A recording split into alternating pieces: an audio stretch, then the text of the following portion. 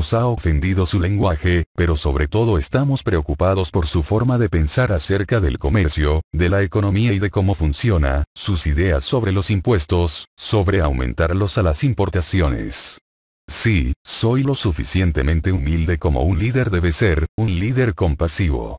Si te he ofendido, lo siento, dijo el expresidente Vicente Fox al republicano Donald Trump, durante una entrevista realizada en Los Ángeles después de que Fox había dicho que Trump es un fanfarrón, presumido, ignorante, falso profeta, narcisista, perdedor y loco, entre otros calificativos negativos contra el virtual candidato republicano a la presidencia de Estados Unidos. Fox ofreció una disculpa, durante la entrevista difundida el miércoles. Y lo invito a México para que vea cómo es el país. Yes, yes.